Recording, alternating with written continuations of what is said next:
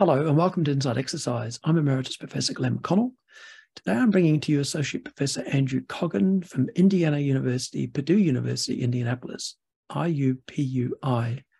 Um, he's an expert on um, all sorts of things. He's done a lot of training studies, a lot of tracer studies looking at metabolism, but he's also got a very interesting background that he was an elite uh, time trialist, um, having won time trials in four different states in America.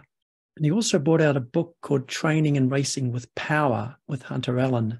So this is where he talked about functional threshold power and the seven different levels of training to uh, achieve your goals.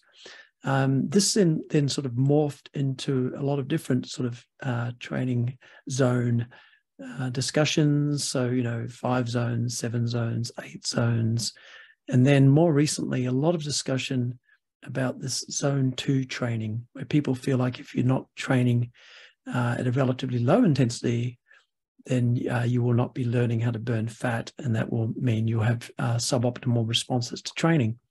So we talk about this, and as you'll see, uh, Andy is not a big fan of this sort of uh, you know obsession about about training in particular zones, and we talk about how you know there's plenty of ways to skin a cat, as he says, or the concept of all roads lead to Rome. And he says, you know, rather than worrying about these exact zones you're training in, worry about training specificity um, and what you want to gain from your training.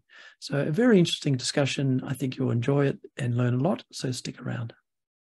Hi, Andy. Welcome back to Inside Exercise. Thank you very much for coming on.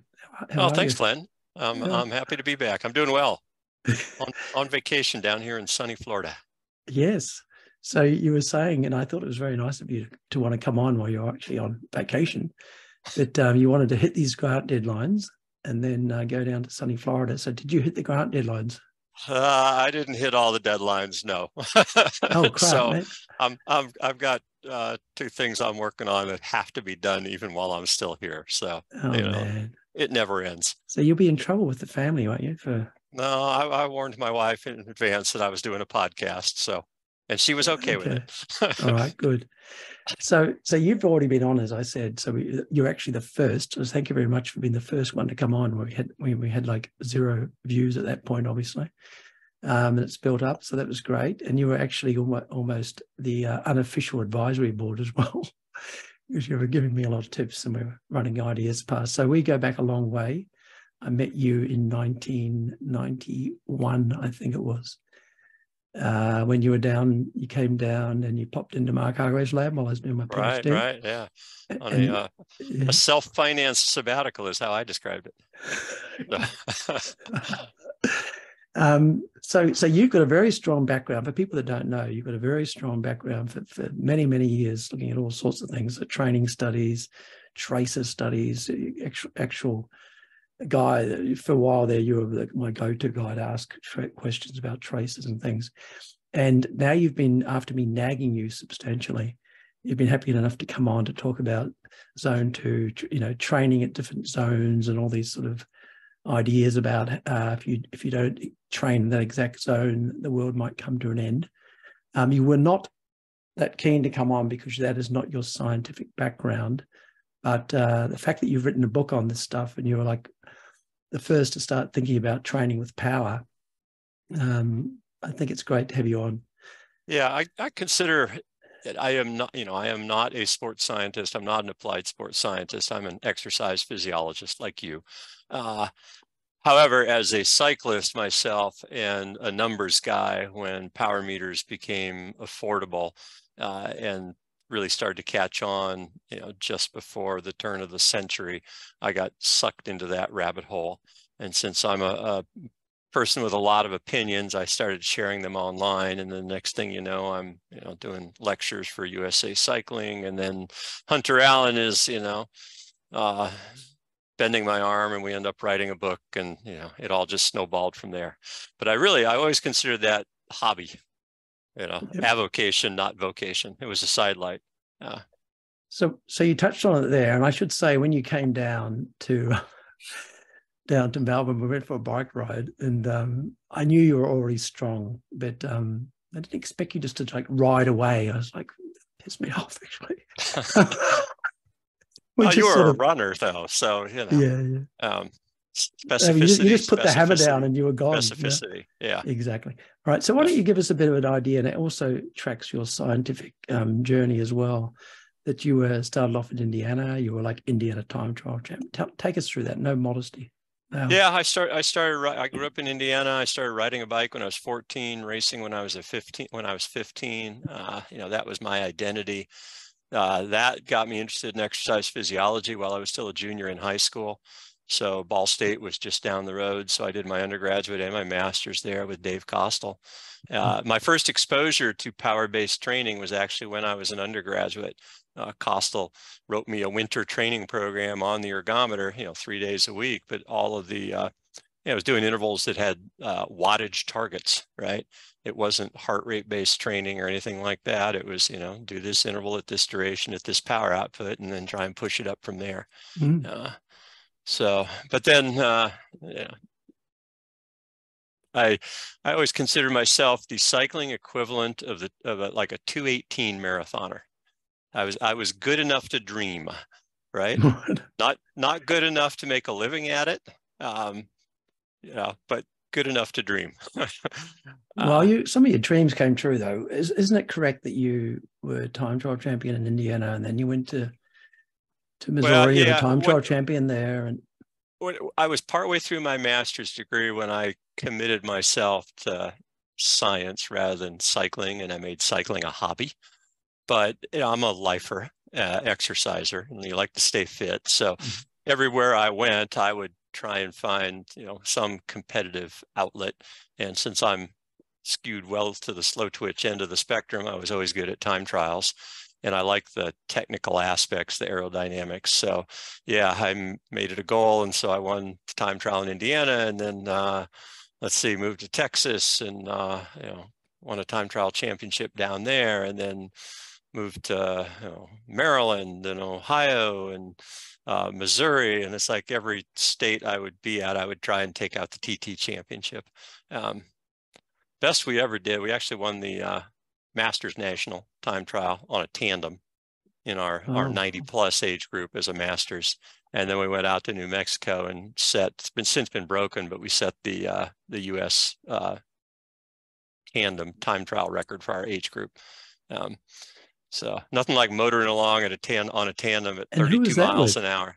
Uh, John Ver John Verheuel, uh, okay. who's he's an environmental attorney out there now, but uh, he was a cycling coach before he uh, went back to law school. I just remember and, while you were talking about that, sorry, that that that you were wired into that with the aerodynamics and you had that hooker elite. Why don't you explain yes. that that that that was I'd never seen anything like that. Uh, At yeah, that time.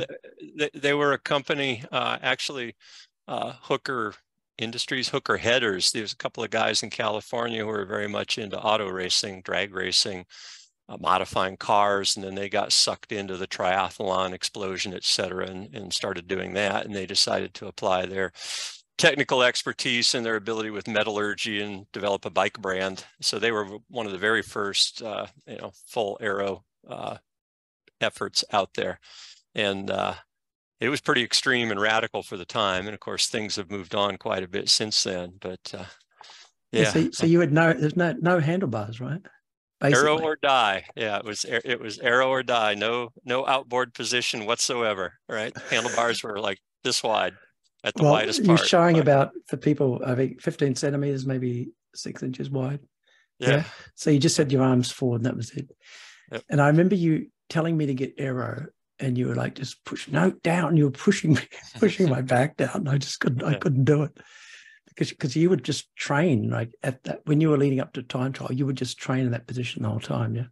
Yeah. Well, and I also, you know, I grew up in, in northern Indiana where it's pretty flat and kind of windy and empty farm roads. I got quite used to just hunkering down and riding with my head down.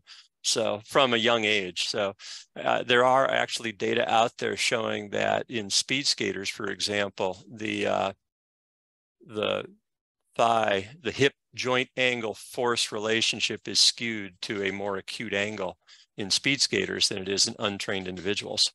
So Okay. I think you know if you if you're doing that from a young age, you develop a little bit differently, and then you can picture somebody who, like yourself, who was a runner first, right, an upright Mm. posture, and then in you know full adulthood, you try to become a cyclist, you may be at a disadvantage to somebody who's been doing it since they were 14 or 15. I just couldn't for the life of me. So you had your you had your hips. I mean, I know we know this stuff now, but back then I was just like, what the hell? Your, your hips were above your uh, shoulders, yeah. Is that what it was? Uh, no, hang on. I mean, No. You, you don't you don't get quite that low, but No, it uh, wasn't that yeah. low. I, I had a lot of good input from uh, various people, John Cobb, Jim Martin, etc. And you were mucking around in um in um tunnels. Um era Yeah, I got I got into the wind tunnel for the very Wind first tunnels. time in uh, I don't know what year that was. Um, but again, that was courtesy of uh, connected with Jim. Um, Yeah. then I eventually Okay. built built my own wind tunnel in my That's basement. right. That's right. Hardcore man. It's it's not a big wind tunnel, but I did build one. All right. So so if we, we're going to lead towards uh, focusing around this zone two concept, which um, to be honest, I hadn't heard all that much about until you know I started on Twitter. I'd heard about it, but then you know with Twitter with this this podcast, and uh, it just keeps coming up all over the place. The zone two and zone two A and zone two B and and various ideas about zones. Do you want to just talk about how we how people sort of got into these zones and indeed your own um, you know zones that you had with your functional threshold power etc Yes, uh, I don't know who the first person who would have been who would, would propose training zones, uh, or even when it might have been, but certainly as a young young and growing up, I think I was exposed to the notion of heart rate based training zones. Then when uh, power meters started to catch on, it was actually a, a chance conversation with John Verheuel in the uh, infield at Trexlertown at the velodrome there. He uh, was part of a coaching company at the time that had their own heart rate based training zones. Mhm. And he saw, realized that power was taking off. And he was telling the person he was talking to, they're talking about watts, et cetera. And he was telling this person that he was talking to that he wanted to be the, you know, be the first to translate their heart rate based zones to, to power based zones. So it was about a two hour drive home from T Town to where I was living in Maryland at the time. And I left the velodrome and I'm driving home and I'm thinking as I go, well, there's really a power vacuum here. You know, pardon the pun. but know, SRM had been available to the Greg LeMonds of the world, for, uh, the Australian Institute of Sport for maybe, you know, eight years or so. But at that level, people are not in the business of sharing all of their hard-won knowledge. They're trying to, you know, Mhm. win medals and make money and keep all of their secrets to themselves. So there wasn't a lot of information out there. And I'm driving home, and of course, I have an ego as big as the uh, um, Gulf here that I'm sitting right next to, and said to myself, "It's like, well, you know, somebody needs to step up and you know fill this void." Mhm. And I felt like I was the perfect person because of my background in exercise physiology and the fact that I had gotten uh, early exposure. You know, I jumped on the power bandwagon. So I started out by developing uh, my seven training levels Mhm. and uh, power-based training levels. But the uh, on the wattage list, when I used to participate, we would have what we referred to as pithy power proverbs, short little phrases that summarized a concept. You get tired of trying to explain it over and over again. So you end up with a shorthand notation. okay And the, the, the relevant pithy power proverb here is uh, they're called levels and not zones for a reason. And that is uh, when people are training on the basis of heart rate and heart rate based zones, they have this notion that, well, if I'm doing a zone X workout, then I just you know modulate my exercise intensity to keep my uh, heart rate within that range at all times. Mhm. And the problem is when you apply that to power on a bicycle, your power when cycling outdoors is highly variable. I mean, people know this, but they're still surprised when they get a power meter. But if you think about it, Mm. when you're pedaling, your power is something. and then you coast as you go around the corner and your power is zero. And then you stand up to accelerate again, and now you get a spike in power.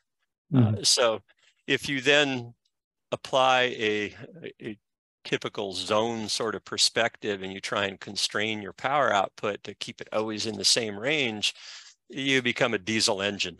You become a lorry, mm-hmm. right? It's not the way we ride bicycles and it's counterproductive to the overall effects of training because you need to be able to change speed right? Take a take a triathlete throw them into a mass start bike race and they get eaten alive right? Because they're not used to changing their, yeah. yeah. So they're riding like a time trial the whole way. Yep. Mm-hmm. so one of the things i did is i borrowed the word levels from uh, chris boardman's coach peter keen had his own system right? Which he referred to different levels. And I thought, well, levels at least hopefully will make people think differently than zone. Um, and then it all sort of snowballed from there. You know, USA Cycling caught wind, asked me to give talks. Hunter Allen sucked me in. We ended up with three editions of our book. You know, hundred thousand plus copies sold, eight different mm. languages. wow, mm. made a, made a lot of other people's careers. Um, for what for me was really just a hobby. is, it, is it in Slovenian? No. With Pogacar? Pogacar? Not to my knowledge, no. Maybe that's the problem. yeah. Well, Rog- Roglic and Pogacar, right? They're both Slovenian, first and second. Yeah, yeah. Yeah. yeah. All right. We might head Slove- in that direction. Slovenian or stage. Slovakian? Are they Slovenian? Slovenian? No, Slovenian. Slovenian, I okay. think. Okay. Um, all right. So there's going to be controversies along the way. And one, one I just thought of is um, I mean, it might be a bit of a tangent, which is what you said. You said we should have a, a bit of a, a script because we, we tend to go off on tangents.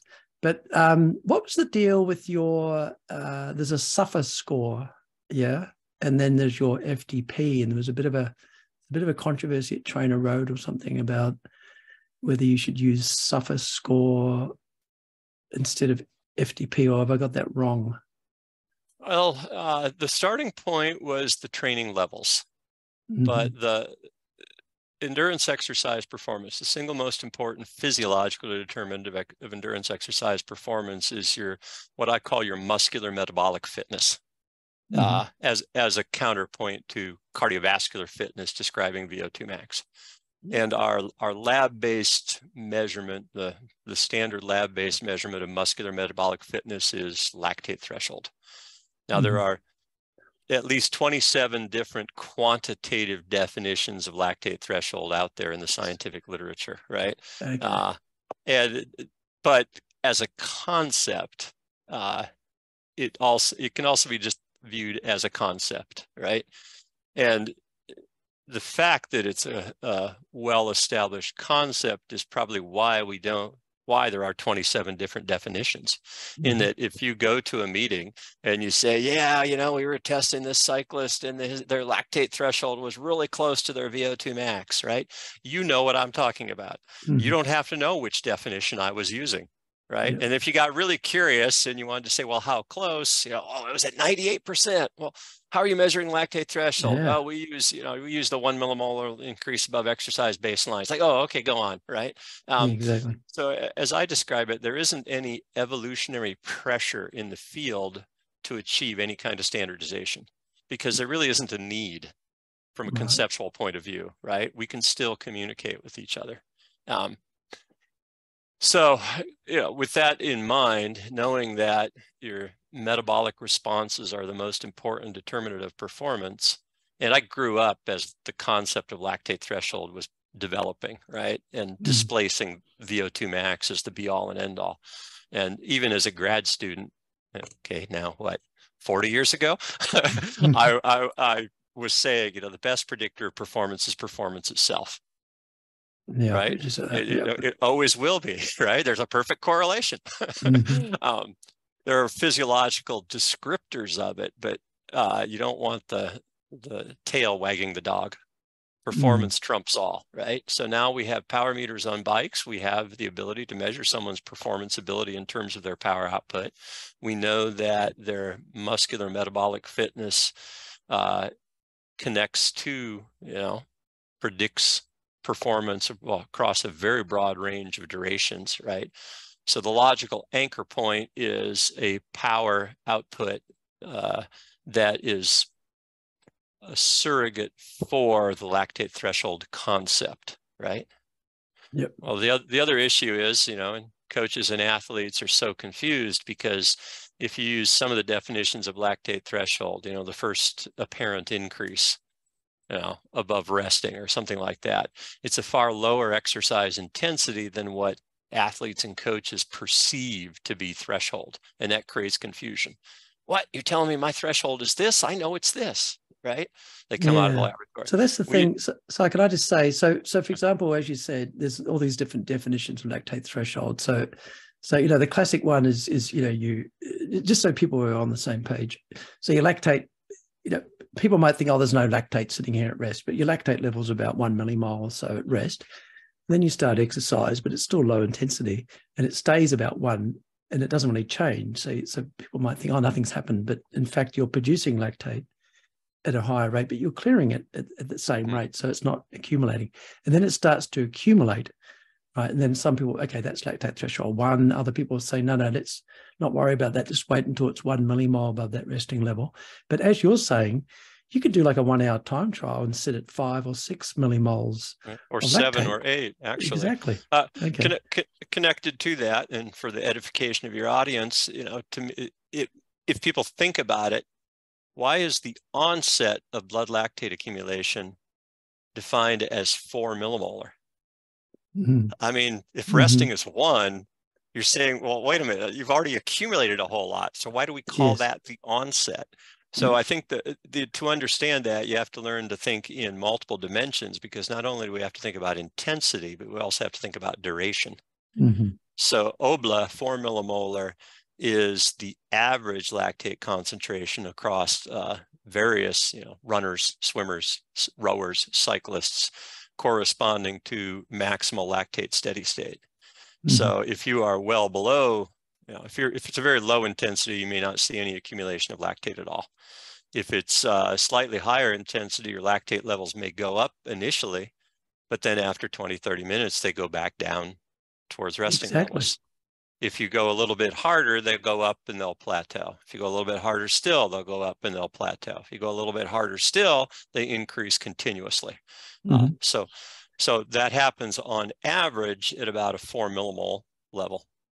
But it seems to be dependent upon the amount of muscle mass, the mode of exercise. So for cyclists, at least trained cyclists, quite typically maximal lactate steady state corresponds to a blood lactate concentration of maybe seven millimolar. Mm-hmm. So yeah, back to the 4K 40 kilometer TT, you know, your average trained, well-trained cyclist is probably just sitting there at seven millimolar for the duration of the event. Um, yeah, so, so what do they do with that? So, you know, if they had a lactate threshold, if they'd, if they'd actually gone in and paid to have a lactate threshold test done, what do they do with that? My feeling was always that. that I'm throwing up my hands here. like, I don't know. I mean, it's a one off yeah. test. Um, mm.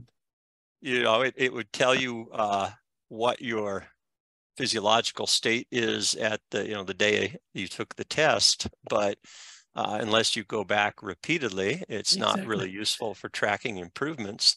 The other thing is that it's far more variable than what people realize. Uh, mm-hmm. you know, we can reproduce performance, you know, plus or minus 2% in a laboratory setting. In the field, because it's not a controlled laboratory setting, maybe plus or minus 5%, right? Um, but then when you talk about measurement of, you know, some lactate threshold surrogate, right?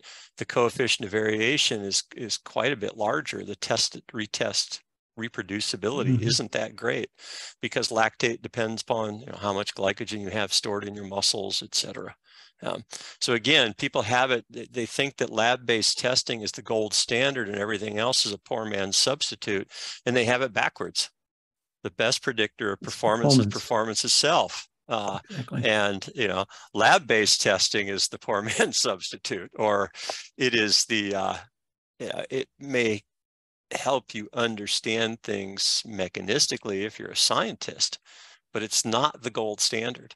And this is one thing that I do uh, would say that I agree with in the perspective that Andy Jones is and uh, David Poole have tried to put out there in pushing uh, critical power as the new gold standard, in that uh, they are also, you know, of the opinion that uh, performance trumps all. Um, okay, so why don't you? Um, we're we're heading we're sort of heading heading towards zone two, but we need this sort of background. Seeing as you've mentioned critical power, um, why don't you just explain what what that is and for our listeners? Uh, critical power was first developed by Monod et al. in the 1950s, uh, a mathematical model to describe performance over varying durations uh, with small muscle mass exercise, let's say repeated knee extension, for example. Mm-hmm. Uh, conceptually, you have a critical power that can be maintained indefinitely, infinitively, forever, right? And above that, you have a limited amount of work that you can do. So if mm-hmm. you are at or below your critical power, you should never fatigue. Mm-hmm. And then if you're above your critical power, how quickly you would fatigue would depend upon uh, the magnitude of your, originally it was referred to as anaerobic work capacity. Now the realization is that it's uh, for last couple decades is it's not entirely anaerobic. So the, now it is W prime, W for work. Um, so you have a certain non-sustainable reserve and the higher you are above critical power, the more quickly you will deplete it. The uh, less you're above your critical power, the longer it will last, but eventually you will deplete it and have to slow down to critical power. So that's the concept uh, proposed again in 56 or so.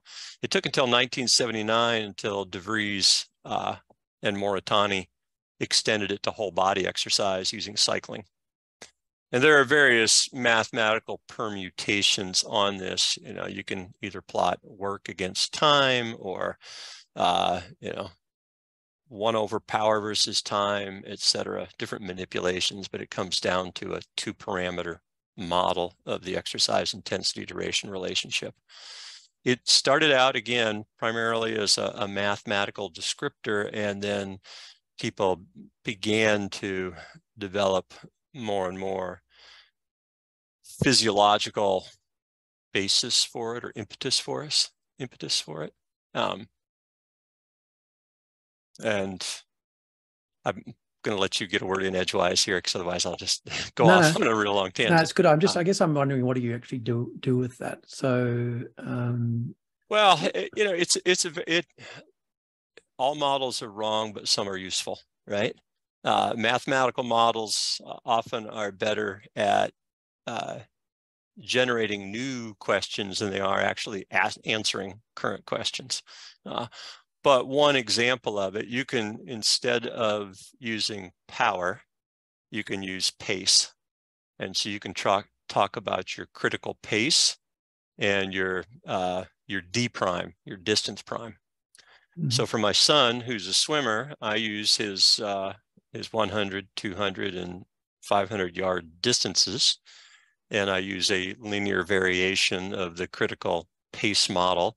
And so I track uh, improvements in his critical swimming speed and critical distance, uh, you know, as he develops, et cetera, et cetera.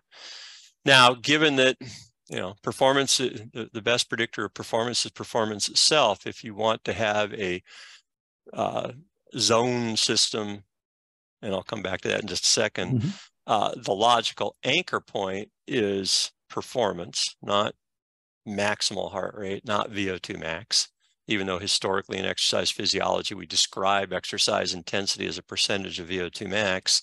Uh, that's really only the best approach if you're talking about cardiovascular responses because it's a measure of cardiovascular fitness. Uh, more generally, anchoring things on quote unquote lactate threshold, muscular metabolic fitness makes a lot more sense. Um, so you could build an entire uh, you know, zone-based system around critical power. Hmm. And, mm. but obviously we're getting, you know, off in the weeds here, talking about mathematics, right? Mm. And hmm. all this kind of stuff. And power meters for cyclists are just becoming available. And the problem is people are really confused because they think they all want to be scientists, right? So mm my attempt to kind of cut through all of the confusion was just to wipe the slate clean and say, forget about the physiology. You don't need to understand the physiology. but you know that there's a certain intensity that you can sustain, right? I can hold this. And if I ask you to go a little bit harder, you're going to very quickly realize I can't keep this up, right? Functionally speaking, there is a quote unquote threshold power, right? Mm-hmm. It's not a true threshold because all exercise responses reside on a continuum, including lactate and ventilation. Um, so to refer to things as a threshold is a is a mental convenience. We simplify everything down and we draw a hard line in the sand and we call it, you know, black and white. You're above your threshold, you're below your threshold. When in reality, it's a curvilinear relationship with a, you know, a narrow bend in it, uh, but it's clearly still bending even in that range. Um, but nonetheless, let's forget about lactate, forget about everything you know. Let's just talk about functionally speaking, you have a threshold power.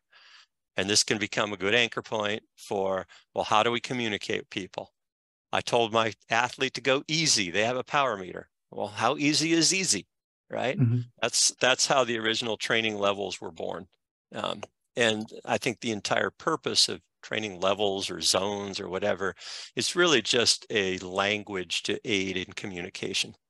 Um, you know, there's nothing magic that occurs about training at a particular uh, intensity that wouldn't occur if you went just a little bit harder or just a little bit easier because it's all a continuum. But if you need to, you know, I'm a graphic person. I can sit here and draw lines and graphs and, you know, all day long. But if you're trying to communicate with somebody in language, um, you need some kind of systematic approach. And that was the, the basis, the original training levels. Yes. Now, with uh, when I first started hearing about zone two and tried to work out what it was, I actually thought it was it was talking about your second level, but it's but it's not. So why don't we talk about what zone two is and how uh, there's a bit of a prevailing view that you if you want to increase your fat oxidation and etc you need to sit in zone two and uh, try not to deviate and then maybe some of the physiology behind that um, yeah, probably know, this, mm. at, at, least some of the confusion that's out there is due to the fact that there are multiple systems. Um, at the simplest, you have uh, the Norwegian approach, I guess you'd say Norwegian, that Seiler always embraces, where you really only have different, three different ranges, right? Um, in which case, you know, it's one, two, and 3 mm-hmm. So two is the middle one. um, uh, when I was developing my training levels and trying to think about, well, how do cyclists train in order to prepare for competition, I decided that seven was the magic number. Mm. Se- that seven was sufficient to cover all the bases. And, uh, you know, I couldn't get by with one less and I didn't want to go with one more because it made it unnecessarily complicated. Um, if you're going on heart rate, well, you know, any heart rate based system is capped at maximal heart rate. Mm-hmm. So, oh, yeah, doesn't really apply to you know supra maximal above VO2 max efforts. So the most common heart rate based system, probably Joe Friel's, I'd guess, has five, right? All right, so okay, you know, one, two, three, four, five, or one, two, three, or one, two, three, four, five, six, seven. Um, but all of these twos don't necessarily perfectly align. no. Um, you know, it's uh, in the history of training for endurance sports. Uh, I say Zapotec. You said Zapotec. Uh, Zatopek. I thought it was email yeah, Zatopek. Well, you, are the runner, so yes, you're yeah. the runner. We'll, we'll go with your pronunciation. Okay. Um, you know, credited with inventing interval training and then the, the whole no pain, no gain era to follow. It was a reaction to that where Joe Henderson published his popular book on uh, long, slow distance training, the humane way to train. Uh, no more, you know, torturing yourself day in and day out with vomit-inducing intervals. You can go out and just run at a steady pace, etc. Um, so he really popularized it, even though you would say that uh, um, uh, from New Zealand, who's the uh, Lydiard. Uh, you know, Lydiard certainly had people yeah. doing, you know, plenty of endurance-based training. Um, mm-hmm. So it would be, you know, zone two is long, slow distance. It's all day pace. It's, you know, it's comfortable pace. It's, uh, you know, we, we all know it when we see it, right? Um, mm-hmm. but in each different system, it's there may be overlap, but they don't necessarily overlap perfectly. And then people want to try and tie it to some physiological marker, which doesn't make a lot of sense because uh, most people don't have access to the physiological measurements. It doesn't make a lot of sense because it's all a continuum anyway. It doesn't make a lot of sense because the best predictor of performance is performance itself. It doesn't make a lot of sense because, you know, performance is a function of your muscular metabolic fitness, which is the most important determinant of performance over a very broad range of intensities. So, you know, why are you trying to tie it to, you know, LT1, right? As if mm-hmm. LT1 is different from LT2. They're not, you know. Um, Actually, sorry, just explain that to people what you're talking about with LT1 and LT2 and why you're saying that they're not different. Well, okay, lactate threshold, LT, if you're plotting mm-hmm. lactate as a function of exercise intensity, let's say during an incremental exercise test, uh, now, the absolute lactate levels are going to depend upon you know, your current glycogen stores, your uh, you know the length of the stage increment, uh, whether you're measuring lactate in venous blood, arterialized blood, arterial blood, whether you're talking about whole blood lactate uh, or plasma lactate. And maybe even if you're doing, uh, you know, capillary blood, it may differ depending on whether you're getting an ear prick or a finger prick. And um, if you, how much you squeeze it as well. Yeah, yeah, or how much sweat gets in it, or the particular brand the handheld analyzer you own. You know, there's a million sources mm-hmm. of variability. But at the end of the day, as you were pointing out previously, initially there are minimal changes in lactate, and then they begin to increase more rapidly thereafter. So people like to look at that and say, okay, here's the first uptick in mm-hmm. some subjective manner. We'll call that LT1. Mm-hmm. And then we know that there is a, a maximal lactate steady state. It's hard to determine from an incremental exercise test, but somewhere out there is an LT2, right? The onset of continual blood lactate accumulation. Mm-hmm. Uh, the problem with all of this is that it's really a continuum. And if you threw an exponential curve on there, that would fit better than any kind of piecewise linear regression, right? There are no actual breakpoints. Uh, and as a consequence, like a, uh, you know, uh, Ira Jacobs demonstrated a single blood lactate measurement, if it, you know, at the right intensity at say, you know, 200 watts, is as predictive as doing, you know, a full curve. Okay. You just need to mm-hmm. know one lactate value, right? Because it tells you where the curve is positioned and is all a continuum. Um, right, so, so that's why you said it's not different. Yeah, just when you said LT1 and LT2 aren't different, I just didn't want people to think they were the same yeah. exact lactate measurement. Yeah. You're just saying they're they're just a continuum. You might as well just do one. They're they're a distinction without a difference. Is that the phrase? Right? and remember how people used to, I don't know if they still do, but I tried to do it once in a while. And, uh, you know, they tried to say, okay, when the lactate does this, the ventilation does that. And then you, you know, you try and draw the, the lactate breakpoints against the ventilation breakpoints. You do that in tracks yeah. and things. And uh, it's hard to, it's a bit of yeah. a, yeah. And then you can dissociate ventilatory threshold from lactate threshold by, you know, McArdle's disease, the classic, mm-hmm, uh, mm-hmm. by pedaling really fast, by pedaling really slow, by having really high glycogen, by having really low glycogen. If you do interval training, it tends to increase your ventilatory threshold more than your lactate threshold. If you do continuous training, it tends to increase your lactate threshold more than your ventilatory threshold. So we have lots of evidence out there that they aren't cause and effect, even though they may, uh, in, mm-hmm. you know, terms of human physiology, yeah, they tend to be closely associated. Uh, they're clearly uh, not cause and effect. Sorry, Karlman Wasserman. Uh, okay. So, so the so with the zone two, yeah. Now, why don't we talk about why are people so? Uh, so I started talking about on tw- you know Twitter. It's just zone two, zone two, and I even gave it. I, I gave a talk on a couple of podcasts, and then you know, as I do on Twitter, I ask people this questions, and there's a question like, I was going to talk about, you know, carbohydrate metabolism during exercise. And one of the questions is, oh, you know, ask them about zone two, you know, just everything's zone yeah. two. Why don't you give us a background on, you know, how people are, why they're so keen on this zone, zone two?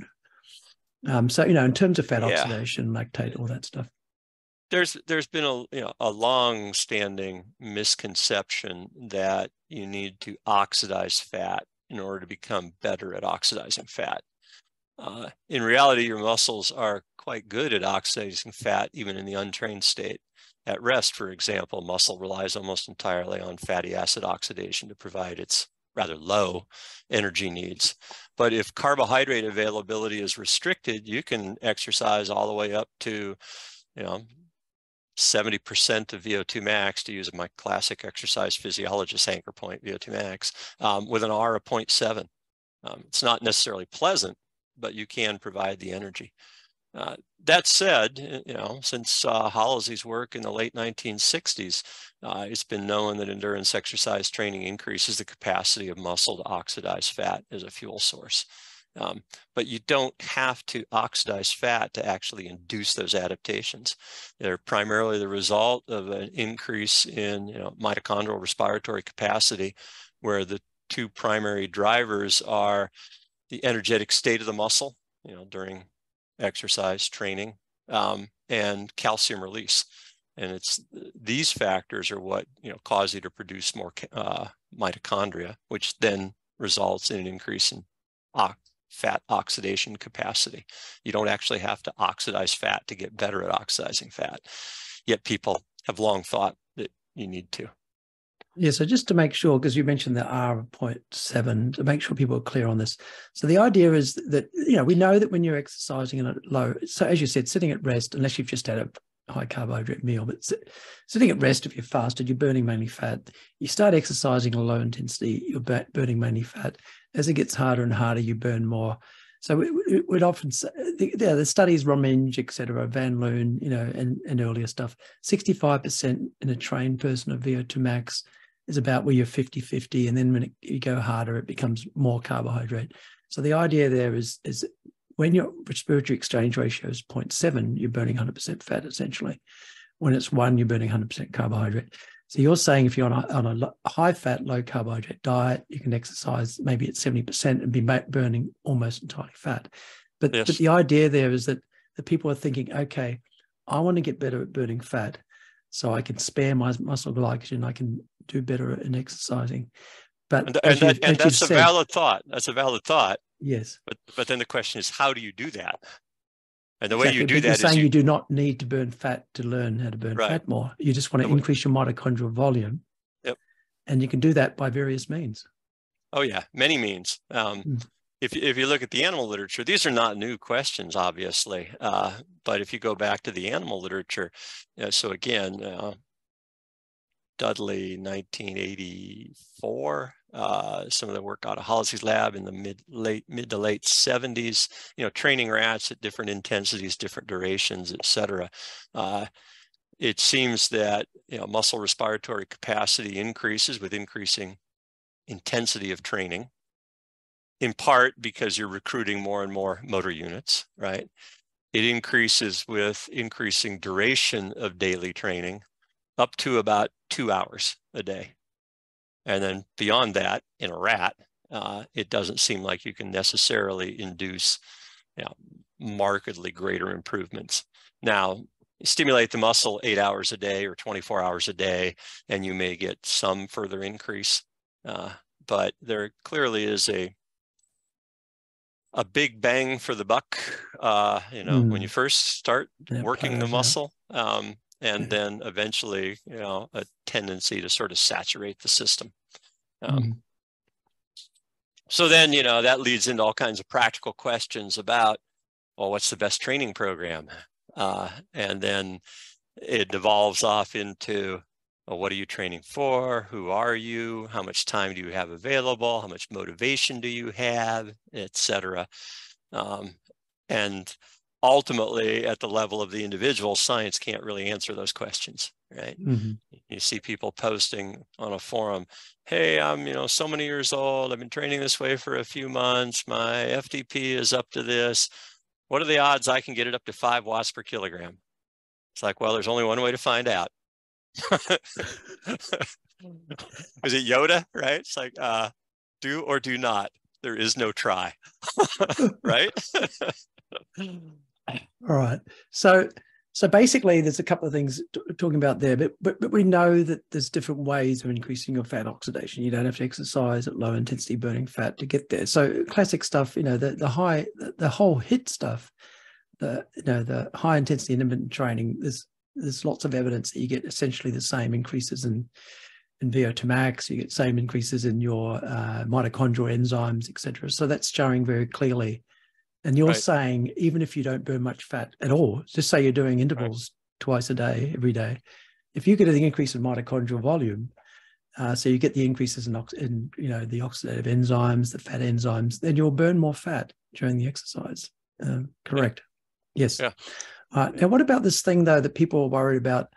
Oh, but when I'm exercising, um, if I go too hard, I'll get lactate, and that's going to inhibit my lipolysis. So, so for a start, I guess you're saying, well, who cares anyway, because you don't have to be burning fat during exercise. But do you want to just talk around that concept? Yeah. So, so the the misconception that uh, you need to oxidize fat in order to get better at burning fat has been around for a long time. The the current uh, myth that oh, you know, if I go too hard early in a workout, it takes a long time to reset my metabolism seems to be coming entirely from uh, San Millán and his recent podcasts. Um, and I think people are paying attention because of who he coaches. I can't pronounce his name. Pogačar. Pogačar. Mm-hmm. Okay. Uh, but the idea that lactate inhibits lipolysis, which I believe is what San Millán is uh, resting his uh, belief system on, actually goes back to hypothesis from the 1960s where uh, uh, Béla Issekutz and I don't remember his wife's name, but Issekutz and Issekutz. So this was in the the heyday of carbon 14 based metabolic tracers, and Issekutz studied exercising dogs with, uh, you know, 14C labeled glucose, 14C labeled fatty acids, et cetera, et cetera. It is true that if you go, you know, hard during exercise and your lactate levels are elevated, your fatty acid levels will be suppressed. Mm-hmm. And uh, Issekutz and Issekutz hypothesized that lactate inhibits lipolysis. What we know now, and what we've known since you know as long as I've been in the field, right, uh, is that that hypothesis is incorrect. The, the real explanation for why fatty acids are suppressed during high intensity exercise is that they require uh, blood flow and albumin delivery to adipose tissue to remove the fatty acids or to liberate, uh, say, release the fatty acids. Mm uh, because fatty acids are not water soluble and the albumin in your plasma is basically the shuttle bus. Mm-hmm. So during high intensity exercise, when you uh, redistribute more of the blood flow away from adipose tissue, you may have a high rate of sympathetically mediated fat breakdown, i.e. lipolysis, but the fatty acids can't escape mm-hmm. from the adipocytes. Then when you stop exercise or lower the intensity and you know you get more blood flow into the adipose tissue, uh, fatty acids will actually rebound. Overshoot. And so, you, so mm. they can show a big overshoot post-exercise. Mm-hmm. Uh, you know, how long does all of this take? I, you know, and what effect that has time-wise on muscle metabolism.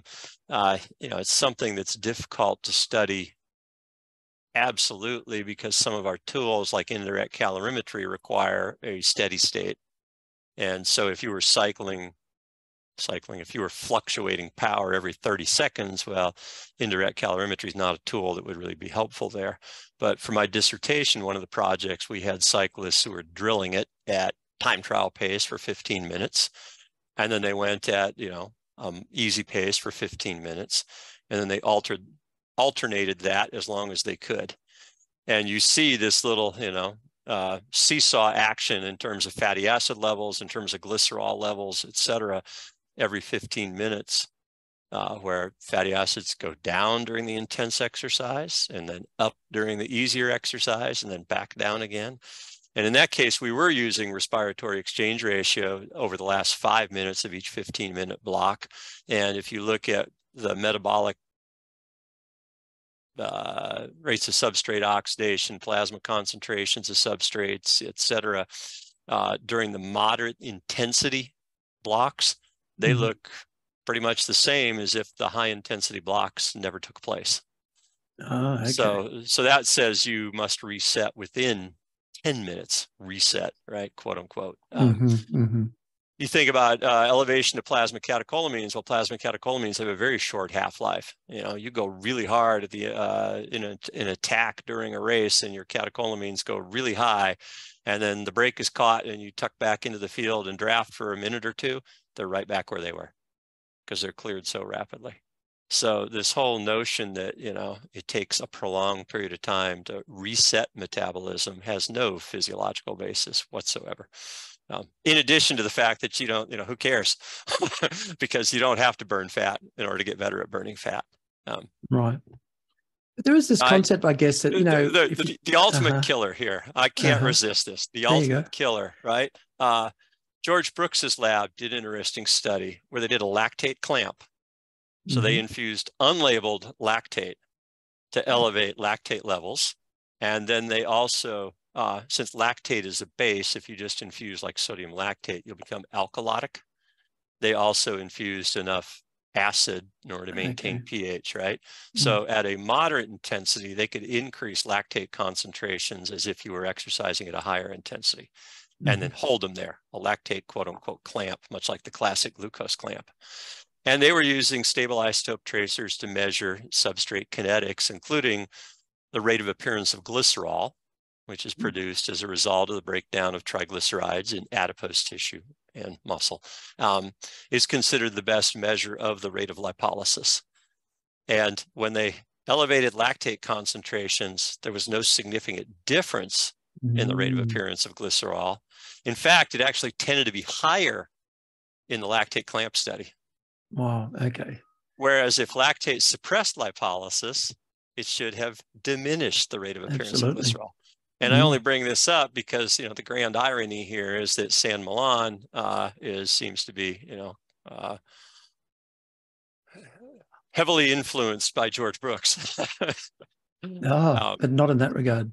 Apparently not. so. okay. Yeah. All right. Well, I think that I don't pull. Much... I don't pull punches, as you said earlier, right? Okay. I, I think that pretty much covers that. But if San Millán was here, how would he respond to that? Do you think? Well, and again, I you know I don't want to point the finger too hard because, and quite on you know quite honestly, I can't stand listening to podcasts. Um, so I. Hey, hang on! Don't turn people off listening to podcasts. I don't even listen to my own on this one. um, uh, people talk too slowly for me. I'd rather read it, draw a graph, give me, you know, give me words. Um, I, I, if it's how to repair my dryer, I'll watch the video, but I'll just cut that out. I'm gonna, oh, I'll modify it for you to say, okay. everyone listen to the podcast. Yeah, I, okay. I, the only podcast I listen to is Inside Exercise. Um, uh, so I'm, I'm, uh, I'm basing this more on uh, what I'm reading on various web fora, etc. Um, so it's possible that uh, his message is getting distorted a little bit before it gets to me. That's quite possible. Mm-hmm. Um, hey, I, I, thought earlier when you were talking about heart rate, um, so you know, back when people were, you know, before people were thinking about lactate thresholds and uh, power zones and things, exercising on heart rate, and that's another one that that that you get cardiovascular drift, right? So if you're, because I've had, I've heard people quite often say, I'm going to run this, um, you know, I'm going to run at 140 beats today I said, you know, but if you're doing like a two hour run or something, you're going to have to slow down, you know, like because you right. get this cardiovascular drift. Do you have right. any thoughts on that? Because I know you said we we just talked well, about well, yeah. Oh, we had one of the pithy power proverbs was cardiac drift is a fact of life. Mm-hmm right? Yeah i mean you know there you're, never going to have a perfectly constant heart rate. Your heart muscle itself will fatigue during prolonged you know moderate intensity exercise. Uh, it's the the reddest of the red the slowest of the slow the most fatigue resistant muscle uh, but it it may exhibit some evidence of diminished function as a result of prolonged intense exercise, i.e. cardiac fatigue. And how well your heart functions is also heavily dependent upon the environment in which it's operating, filling pressures, etc. So as you warm up and you have to vasodilate your skin to cool yourself. You may have diminished, you know, central cardiovascular uh, pressure, which will reduce stroke volume. You're no longer stretching the heart. You can't take advantage of the Frank Starling mechanism as well. Yet you need to maintain cardiac output to provide the oxygen to the exercising muscles. And now you have to send more blood out to perfuse mm-hmm. the skin. And if stroke volume is going down, the only thing you can do is increase heart rate. You know, just pump faster, right? So, you know, even in a laboratory-based setting where you are, you know, uh, well below any kind of uh, major disruption to metabolic homeostasis, um, well below, you know, quote unquote lactate threshold, critical power, maximal metabolic steady state, functional threshold power, whatever you want to, uh, yeah, whatever you want to call it, you know, uh, you'll see some upward drift in heart rate, uh, even just core temperature increasing over time, causing you know AV node to depolarize more rapidly, more readily. So cardiac drift aerobic decoupling life. What's this aerobic decoupling? Uh... It's cardiac drift. Yeah. So that's just and cardiac drift. That's just cardiac drift. But what's yeah. this aerobic decoupling business? Well, it's uh, I think Joe Friel is the one who came up with that term. Um, you know, a perfectly coupled mitochondria, mitochondrion, there's not really a single one, but a perfectly coupled mitochondrion, uh, the in theory, the, the P to O ratio should be, you know, three. We get three ATP produced for every uh, one half of an O2 yes. utilized, right? Mm. Mitochondria, you know, even in a healthy person are not perfectly coupled, um, but they can become less well coupled. They can become uncoupled. It could be due to mitochondrial diseases. It could be due to uncoupling proteins that are expressed within the muscle. Uh, it can be due to uh, chemicals, drugs, rotenone as a mitochondrial uncoupler. So people would, you know, in Indiana, they'd, uh, you know, poison a pond with rotenone and all the dead fish would float to the surface, you know. Mm-hmm. Thought it was a cool thing to do. Um, oh, was uh, it? Okay. I thought so, it was weird enough how they painted the river green. So when, you know, because I went to yeah. Ball State as well, I couldn't yeah. believe it. There I was. I just started the environment. There was no environment group at Ball State in 1989. So I started one. It's called Common Ground. More worried about the environment. And then it's St. Patrick's Day and the river's uh, dyed green. Yeah. what the hell? anyway, I need to tell you about I need to tell you about my new electric car someday. Um, okay, cool. All right. yeah. All right. Um, so anyway, I just thought aerobic decoupling. I mean, there's so much more so, going on. Yeah. So so drift. I think I think I think Joe Joe Friel kind of uh, you know conflated the two or just borrowed the term uncoupling, decoupling um, and you know came up with aerobic decoupling, but it's really just cardiac drift. The uh, uh, terminology aside, and any uh, confusion that might create, the biggest issue here is it's been proposed that when your cardiac drift is below, you know, a certain amount, then that's a sign that your base is fully developed and it's time to move on with your training. Um, well, yeah, you're shaking your head. yeah, I mean, we know that endurance exercise training uh, reduces cardiac drift, but sure. really that's a, that's a measure of or a reflection of your cardiovascular fitness, right? Mm. Yet, uh, you know, performance is mostly dependent upon your muscular metabolic fitness. And you know, where this arbitrary cut point uh, comes from in the first place is also you know, totally unclear, right? Um, you know, I, mm. I, think it's I think it's basically you you pursue the type of training necessary to maximize the capabilities required for your chosen event, and you keep doing that until you stop making forward progress performance wise. Yes, performance and, and is, the, is, the, is the end yeah. point. Uh, what did you you keep, you keep saying it? Performance is the best indicator of performance. Yeah. yeah, the best predictor of performance is performance itself. Yeah. Uh-huh. So, you know, there you are. You're a cyclist. You took some time off in the fall. You trained diligently over the winter. You've been progressively increasing the, the volume, frequency, intensity of your training all spring long. And you keep working at it. You keep working at it. And finally, you're reaching a point where things aren't going up anymore. Well, you know, there's either, you know, one of two things to do at that point. It's either change your training, mm-hmm. you know, uh, focus on some other aspect, or it's time to go racing, right? Because uh, you know you're not necessarily going to make any further progress by just keeping, you know, keep beating your head against the wall. Um, but also, you know, don't stop beating your head against the wall if you're still improving, just because of some, you know, aerobic decoupling says I should.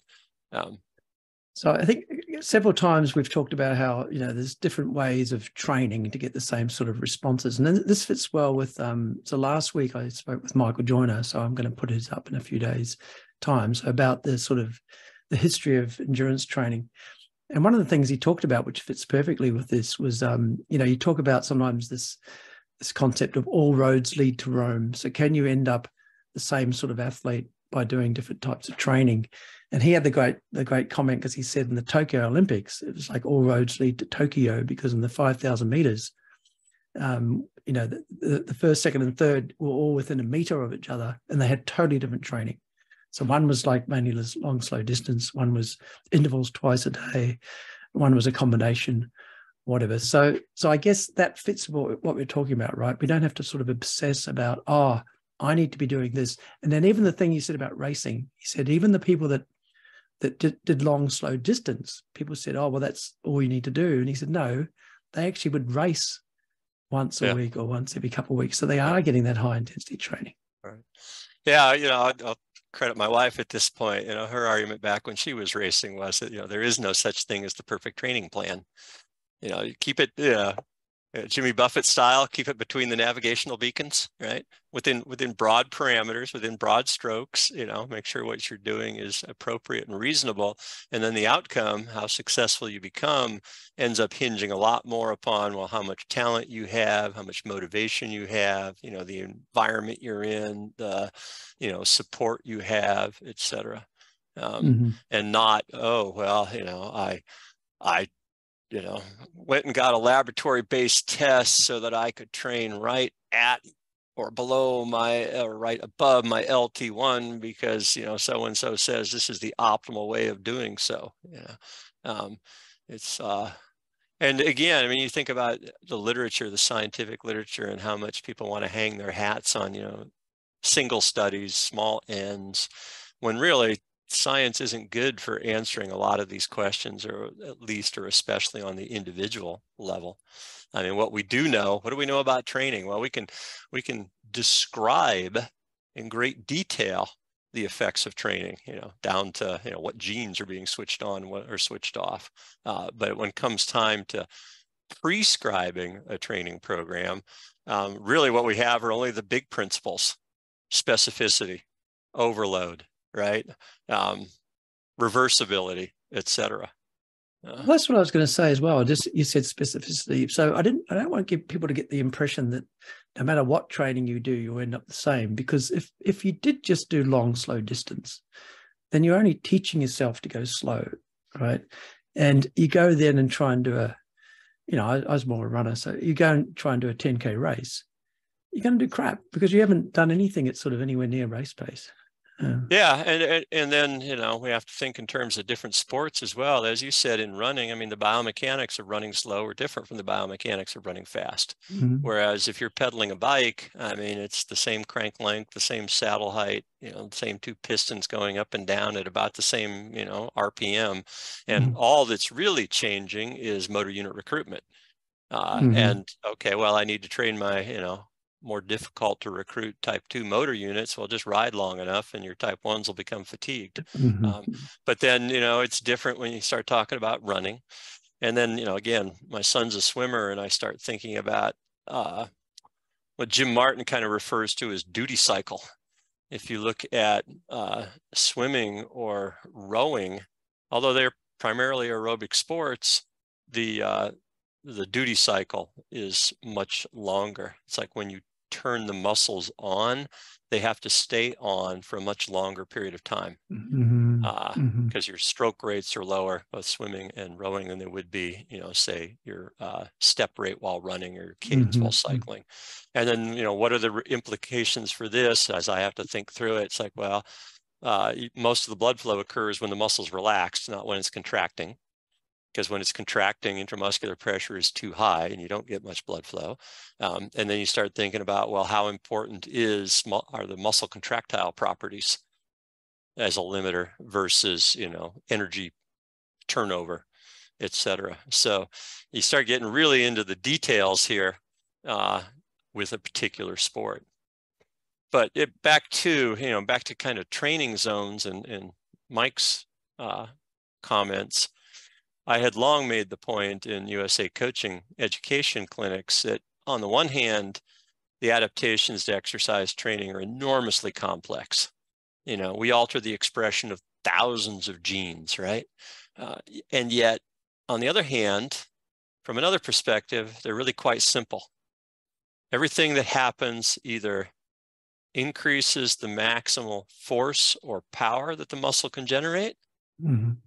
Or it increases the duration at which the muscle can maintain a submaximal force or power output. Yep, yep. So you have type, I say type one. Let's say you have type A and type B adaptations, right?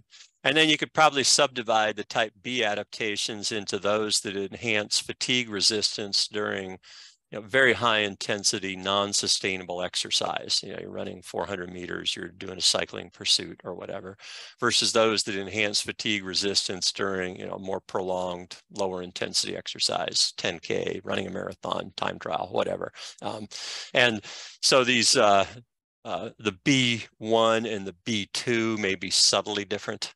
Um, but really in broad strokes, that's it mm-hmm. and everything else is details you know best left under the hood for the exercise molecular biologists right? Um, it's like what kind of adaptation are you trying to pursue? Well there's only three. So okay well you know what are the adaptations and how do i induce them? Well like you said uh, over broad spectrum you can do anything from you know very prolonged uh, lower intensity exercise or you can do uh, you know short intense interval training. And how does the muscle respond? More capillaries, more mitochondria, uh, you know, probably going to decrease your glycolytic, glycogenolytic enzymes a little bit. You're going to reduce your LDH, you know, a fair bit. You're going to produce more GLUT4 transporters. It's like there's only like one program mm-hmm. by which the muscle can respond over very broad swaths, you know. I mean, that's that's one of the things that you know. My wife was a track cyclist, and I didn't really come to fully appreciate uh, cycling as a sport until I got to know her. Because if you don't consider what happens on the track, it's like going to athletics, track and field, and only watching the marathon and not going to the stadium, right?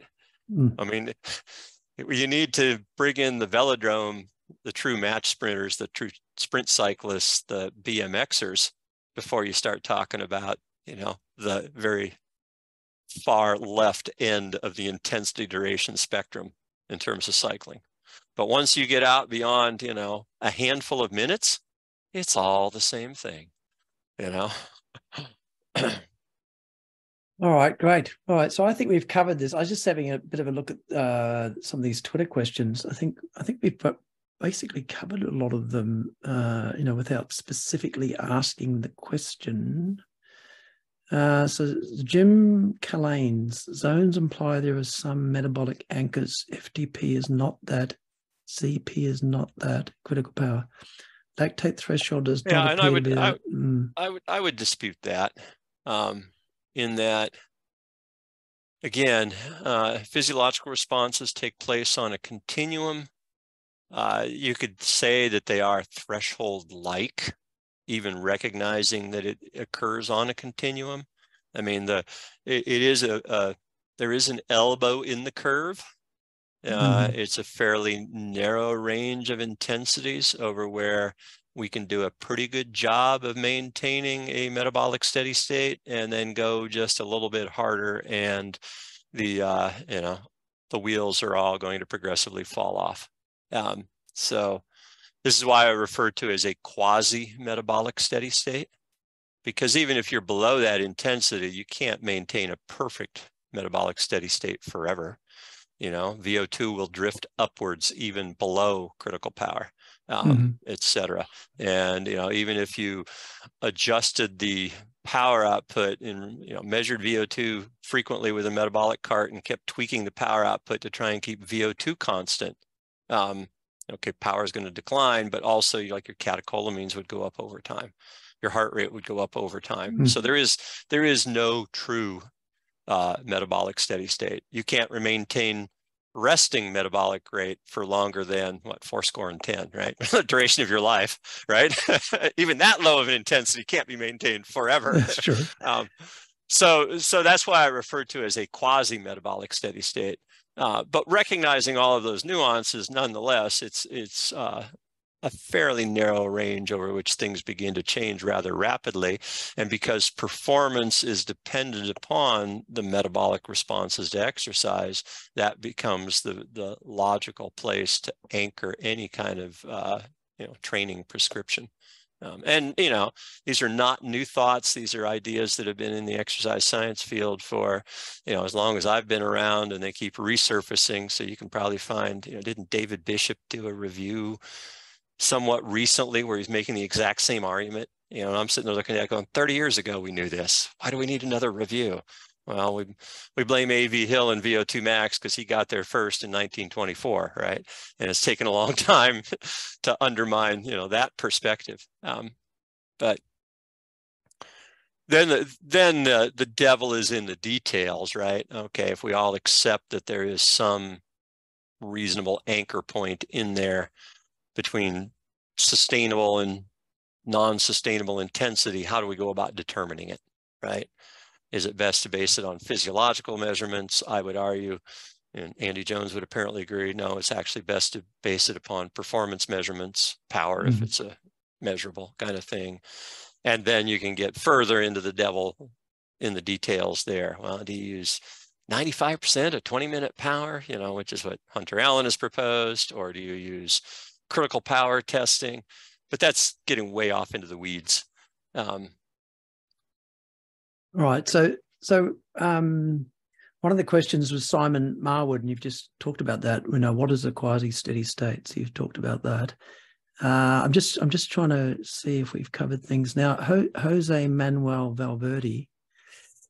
Ah, so he talks about the thing you said already. So Dr. Iñigo San Millán always emphasizes that the introduction of high intensity in a zone two ride negates its benefits as high intensity efforts hinder aerobic pathways. So, talking about the lactate for several minutes afterwards. Uh, this is hard to achieve outside of.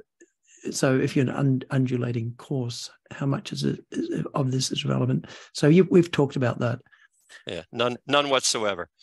Uh, you know, you you you you go for a Strava Preem at the start of your three-hour ride, uh, and you blow yourself to bits. Yeah, the rest of your workout may not be of the highest quality, especially if your fitness isn't really there. Um, so maybe that's not the best plan on a regular basis. Uh, but in terms of the physiology, you mm-hmm. know, physiology doesn't really care. Think big picture, right? Actually, just um, just back to the thing I asked at the start, and I remember we had some emails about it a couple of years ago what was this controversy about FTP versus suffer score, the Sufferfest? Oh, right. We, we that dropped thing? that. Um, mm. I'm not sure, and maybe you're uh, mixing a couple things. Uh, Wahoo Quite possibly. yeah. Wahoo Fitness, uh, they, you know, they had a whole advertising campaign. FTP is dead, and then they started hyping 4DP, four dimensional power. Oh, that's that is, you, mm-hmm. you, characterize somebody's, uh, you know, exercise or somebody's performance abilities on the basis of their maximal five second, one minute, five minute, and you know sustainable right. power, mm-hmm. which is the power profiling idea that I had introduced a it decade or more before. Yeah. Mm. So yeah. Um, you know, That's what it was. It was apparently, it was the people behind Wahoo don't have any ethics, right? I mean, this is this is the. I'll be blunt. this is the very definition of plagiarism, right? mm-hmm. using somebody else's words or ideas without giving proper credit, right? Um, well, it's actually worse because they they said FTP is dead. Yeah, um, makes no sense, does it? Right? they're plagiarizing, no but they also put knock down the thing they're plagiarizing. Oh, lots of ways to make money in this world. Is that a defamational? these defamational comments or not? Okay, so um, Great. So I, I, think if we covered pretty much everything, I, I didn't see all the Twitter because some came. I just got up out of bed and I some more Twitter comments came through, but I think we pretty much covered everything. So, what would your takeaway? I guess if we're talking about uh, takeaway messages from this, um, and thinking about the topic, so you know, why all the talk about Zone Two? What would you like people to take away, uh, rather than just like, yeah? I'm I'm going to tip my hat to you here, um, because you know the your your motivation for the podcast was the fact that there is a lot of misinformation out there there are a lot of scientists who are getting their hands dirty working in the field who are the best source of information, the, the, closest to the truth, right? And yet we live in an ivory tower where we're, we're not incentivized to share with the public. Mm-hmm. Instead, you know, we're incentivized to chase grants, build our careers, you know, pay our summer salaries. And I'm I am both a, a, a product and a victim of that entire uh, system and I recognize it, right? Um, so I'll tip my hat for you for recognizing that, you know, you have an opportunity here to provide the, uh, the pipeline, the uh, insight uh, into exercise. So in that context, aside from telling people, you know, listen, the Inside Exercise is my favorite podcast, the only one I listen to. Uh, I, more big picture, I would say is, uh, you know, be a skeptical consumer of information mm-hmm. and truly consider the source. I mean, it's not that hard to get a PhD in exercise science, right? just because somebody has credentials behind their name doesn't mean they know what they're talking about. Just because somebody is connected and you know has a bunch of really successful athletes doesn't mean that they necessarily know what they're talking about. Um, so be a skeptical consumer, and yeah, you kind of have to triangulate amongst you know various sources of mm-hmm. information. But the other part of it is to realize that you know why are you why are you interested in the first place, right? I mean, we're all curious creatures, and there are probably many people who, even if they aren't going to try and apply it to their own training, it is how they entertain themselves. They listen to Peter Attia or something like that, right? Mm-hmm. Uh, while they make their commute to work, um, passes the time while they're in the car. Um, but uh, it's sometimes it's also just a distraction. Mm-hmm. And so it's like, keep your eyes on the prize don't be confused because the biggest mistake people make is they they basically jump from the latest you know they jump from one training Bad. approach to another training, mm-hmm. training approach they respond to the latest guru you know back when uh, lance armstrong was winning the tour de france and chris carmichael was you know walked on water everybody's like oh i got to spin to win i got to spin to win mm-hmm. right mm-hmm. um, you know so you see you live long enough you see these things come and go and you realize what matters are the big principles. Um, so you know don't don't get distracted by all of the talk. Um, hey, okay that's great. Just thinking as something else i thought of the other day is do people partly want to do zone two because it's easy? You know so if you're going to ride your bike and you go, oh, I should do zone I, I, two was, today. Well, you know, I was, hmm. I was, thinking about the same sort of thing. Uh, although there is, depending on how much time you have available, people like Steve Seiler have, you know, uh, cautioned against the no-go zone, right? Spending all of your time going happy hard, right? Um, actually going happy hard is a good way of inducing adaptation. People ask about, well, is sweet spot, you know, where's the scientific evidence that sweet spot training is effective?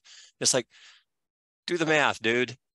Almost every endurance exercise training study ever published has taken untrained people and trained them in the sweet spot because that's mm. what we as exercise physiologists do, right? We know that it's effective. You're not going to get improvements in a college student training six hours a week at 50% of VO2 max, right? Mm. It's just a, no, what do we do? We put them, you know, pretty darn hard, you know, mm. sweet spot. Um, so, uh, again, though, I was thinking about it. It's like there is some, we, we have three levers we can pull frequency, duration, and intensity of training, right? And most people would take frequency and duration together and call that the volume of your training, right? Mm-hmm. So you have volume and you have intensity. Um, what is the optimal volume. I mean, like I said, my son's a swimmer. My wife and I debate these things endlessly, right? Uh, there are high school swim programs here in Indiana. Uh, well, we're not in Indiana, but near in, in Indiana, uh, at home. Um, where you know, they have high school kids kids training 20 hours a week. My son trains 10 hours a week. Well, my mm-hmm. wife and I are convinced that he would be faster if he trained more. Um, but how much more? You know, my on an individual basis, the only way to know is to you know do more right. until you until you crack, right? Mm-hmm. But my my experience, my gut instinct, what have you, is that somewhere around you know the 15 hour a week mark is where you're starting to trade intensity for volume that all roads lead to Rome, right? Mm-hmm. But okay, let's say you're choosing, you're training 15 hours a week and I want to get better. I got to go hard. That's not pleasant, right? Mm-hmm. so how much motivation do you have to have to do that, you know, 52 weeks a year, right? Or is it easier just to ride more and have fun, you know, and all roads lead to Rome, right? Um, so there, you know, there, there are more, there are, there's, you know, there's more than one way to skin the training cat. um, what we do know is that intensity is a uh, significant factor. You could take any highly trained athlete, and if you put them into a pressure cooker training program, short term, you can probably get further improvements, or you'll crack them, one of the two, right? Um, but I think somebody like, you know, your average pro cyclist is probably running around anywhere, you know, depending on the time of year, five to 15% below their maximum performance ability, depending upon, you know, what parameter you're talking about, because it's a job. And I've got to do this, you know, 50 weeks out of the year, right? Mm. And I mm-hmm. can't have my nose to the grindstone 50 weeks out of the year. Uh, motivation dries up. Actually, that that re, that reminded me of something to tie together because earlier on when you were talking about your VO2 max and your lactate threshold, I, I, wanted to to make sure people were clear on that. And I think this is a good example. So Sjøgaard 1988 showed Tour de France cyclists when you look at them over a season, their VO2 max did not change over the season, but their performance and their their mitochondrial enzymes changed 300 percent. Yeah. So that's yeah. the good to tie that together. The, the performance is more related to your peripheral. Yeah. Um, you don't actually have to do that much to keep your VO2 max. Um, and it doesn't close. really change yeah. that much. Yeah, exactly. No, it doesn't change that much once it's up already. Yeah. Um, all right, great. So just a, a, a final uh, takeaway, takeaway, just specifically to the zone two stuff. What's your takeaway? So if someone gets off this and then gets on Twitter and it's like, you've got to do everything at zone two, what would you say to them? What's your takeaway on that? I, well, I, I, think I, my, my, gut is to say the same thing again. Yeah, think exactly. of the big picture. Um, mm-hmm. That you know the the keys to training are the big uh, factors: specificity, overload, progression, you know, reversibility, etc. Um, mm-hmm. So I mean, I had a, a, a mental map. You know, if you were designing the training program for an athlete, you know, it's like, what are the demands of the event from a physiological perspective? Mm-hmm. Um, you know, what are the characteristics of this athlete with respect to the demands of the event? How to best prepare this athlete for this event, right? Or maybe they should pick a different event because they would, you know, be more successful at something else. So that's mm-hmm. like an mm-hmm. exit from the circle. But mm-hmm. if you don't exit from the circle, you just keep coming back to the same question. What are the demands of the event? What are the current characteristics yeah. of the athlete? It's like, okay, well, we've raised your muscular metabolic fitness about as high as we possibly can. We might be able to get a little bit more if you wanted to do time trials, but you're targeting the pursuit. You're my wife. Okay, so it's instead now it's time to focus on you know, icing the cake by, you know, VO2 max intervals and then a whole bunch of, you know, quote unquote anaerobic capacity intervals, uh, the uh, go hard, puke, go home style of training, right? Mm-hmm. Um, because that's what to do a one off, you know, three kilometer pursuit as fast as possible. Those are the capabilities that you need. Um, so specificity. All right. And then I was just thinking also if someone was saying, what about if I'm not an athlete, I'm not training, for, I, I want to do it for health? I guess you'd say zone two may not be ideal for that either, because even though you might get the metabolic sort of, you know, you might reduce your blood pressure and cholesterol and things by doing a lot of low intensity type exercise. Um, I know from with Ben Levine was on here, he said you need to do a bit higher intensity to get the cardiovascular responses you want. So, yeah, uh, I mean, people are doing it for health. Uh, presumably, they're talking about doing it for the rest of their life, right? Mm-hmm. Hopefully, Just they're not. something. You know, yeah. yeah. Um, so it has to be something sustainable, something they enjoy doing, and Mhm. something they can fit into their life, et cetera. Uh, within that, if it's too intense, you know, you'll burn out and you'll jump from TrainerRoad to FulGaz to Zwift to, you know, doing nothing to, you know, yeah, just uh, playing pickleball to back on the bike because the pandemic hit, you know, et cetera. But at least you're doing something, right? Yeah, Um, yeah. but if you're going to pick one sport and you're just going to do it again it still has to be sustainable it still has to be something you enjoy uh, there is you know the other the, at the far end of things is it possible to go too hard? Um, there's emerging evidence in the cardiovascular disease realm that you know high intensity exercise could increase uh, formation of uh, calcium containing plaques Mhm. in the coronary arteries. Uh, there are some case reports, you know, like 10% out of a cohort of 30 and then several papers, right? Uh, where, you know, people like me who've done a lot of high, or you, um, we may have evidence of uh, myocardial fibrosis based on MRI scans. Uh, but at the end of the day, if you start looking at, you know, mortality, et cetera, um, there's nothing, I mean, an acute bout of high intensity exercise increases your risk of sudden death, both while you're doing it and immediately thereafter. But doing it on a repeated basis actually re- Exactly. reduces your risk. And so despite, you know, the CAC scores data out there, the fibrosis changes, et cetera, um, it's still, you know, unknown whether these things have any true clinical significance. Well, again, I'd, I'd, I'd uh, point people in the direction of Ben Levine's uh, podcast on that. Yeah, because, um, he'd, be the expert. Yeah. no, because the, the good one was he did say that there's more calcification of plaques and things, but they're more stable. They're actually Yep. not. Yeah. We used to talk so- about uh, Mhm. vulnerable and, and vulnerable plaques, right? Yeah, so the they're more that are- stable. Yeah. So they, they actually, even the people that have the more calcified plaques tend to live longer, and that there can be also increased atrial fibrillation, but there's still a lot more, better, more uh, lower mortality. So, Yeah. yeah. so that's an interesting discussion. Nice. All right, so um, thank you very much. Maybe, maybe I'll have to watch that episode. Uh, there you go. um, there you go. So thank you very much again for coming on, Andy. And I'd like to point, if we're plugging other episodes, your, you know, as I said at the start, the first, the very first episode was with Andy Coggan talking about his nitrates and exercise uh, stuff, which was really interesting as well. So enjoy your holiday, and uh, I Okay. hope you don't have to spend too much time and annoy your family here with. Um, know, I got, I got, I got one out of three down now, right? Holy mackerel! You're going to end up in the bad books. Okay. Yeah. Okay. Good to Good see you on you. again, Glenn. Thanks, Andy. See you. Till, ne- till, till next year. Okay. Bye. Bye bye. See you. I hope you enjoyed this podcast. Um, please like, subscribe, pass it on to your friends and colleagues.